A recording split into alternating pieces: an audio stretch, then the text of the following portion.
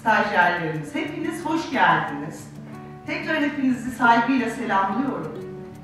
Türkiye Barolar Birliği ile Adalet Akademisi arasında hakim, savcı ve avukatların öncelikle ortak bir bakış açısı geliştirmesini, hukukun üstünlüğünü ve adaleti olan güvenin artması amacıyla geliştirdiğimiz ve gerçekleştirdiğimiz işbirliği protokolü, eğitim işbirliği protokolü adına hepimiz bu çatı altında bir araya geldik.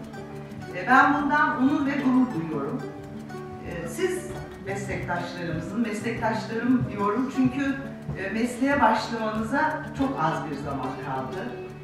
Her şeyden önce bir e, tecrübeli meslektaşınız olarak sizlere birkaç öneride bulunmak istiyorum.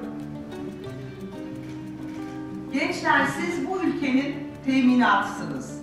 Yarınlara daha mutlu, daha umutlu bakabilmemiz, bakabilmemizin yegane koşulu sizlersiniz.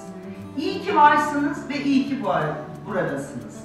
Ben sizlerle birlikte olmaktan ve Adalet Akademisi'ni, Türkiye Adalet Akademisi'nin katkılarını, emeğini esirgemeyen çok değerli başkanı ve tüm üyelerine huzurlarınızda bir kez daha teşekkür etmek istiyorum.